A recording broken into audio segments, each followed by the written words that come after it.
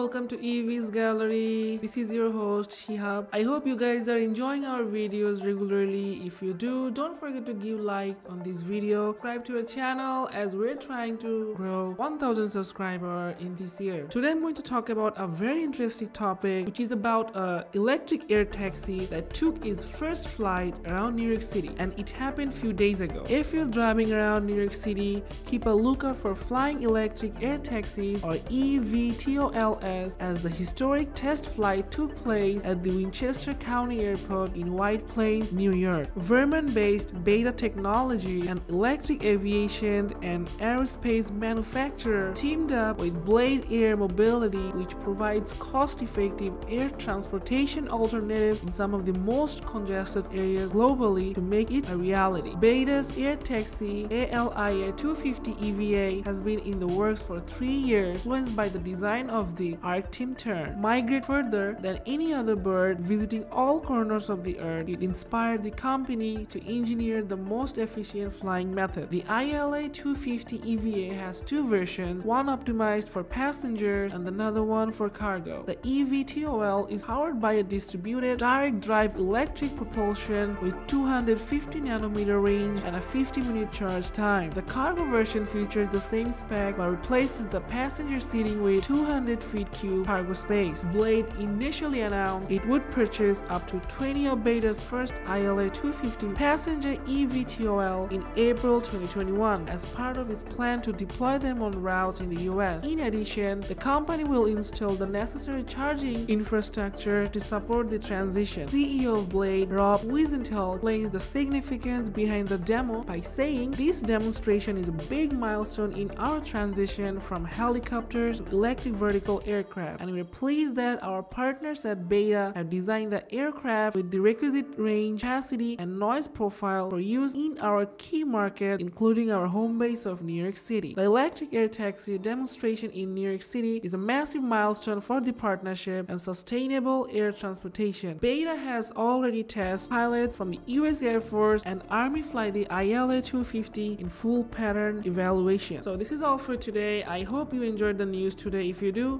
please give a like on this video and subscribe to our channel. Thank you for watching.